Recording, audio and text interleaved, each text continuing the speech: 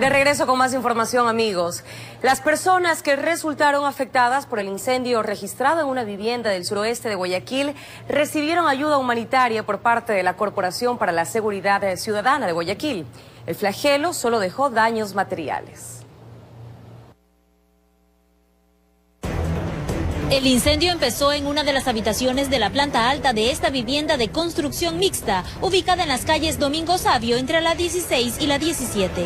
Ya estábamos este, dispuestos a acostarnos a dormir y cuando acuerdo que se, comenzó a salir humo de la planta de arriba y, ahí comenzó el incendio, loco. Lo que se, se pudo solo sacar a los niños. Y comenzó a salir más candela ya no se puede hacer nada. Se quemó todo, pues todo, cómoda, se quemó televisor, todo, ropa, colchón, cama, todo se quemó todo. Tres niños tengo, uno de seis, de cinco, de cuatro y año y medio.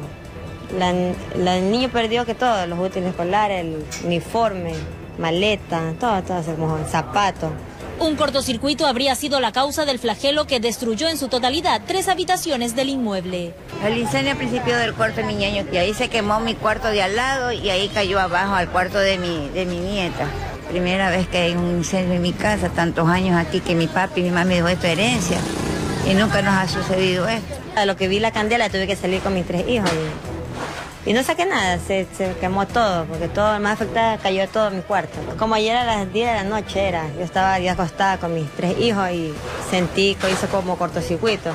Y es lo que llamé a mi tío para decirle qué pasaba, no, no contestaba, como él sale, había dejado el sorprendido.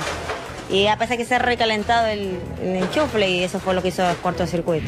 Un equipo de la Corporación para la Seguridad Ciudadana de Guayaquil acudió al sitio del siniestro para entregar ayuda humanitaria. Estamos entregando dos kits, uno de alimentación que viene con alimentación, limpieza, atención higiénica para las personas, ¿no verdad? Es un kit para cada familia, son dos familias, una de cinco personas y otra de seis personas, tratando de, paliar alguna, de alguna manera la, la situación que sufrieron ayer.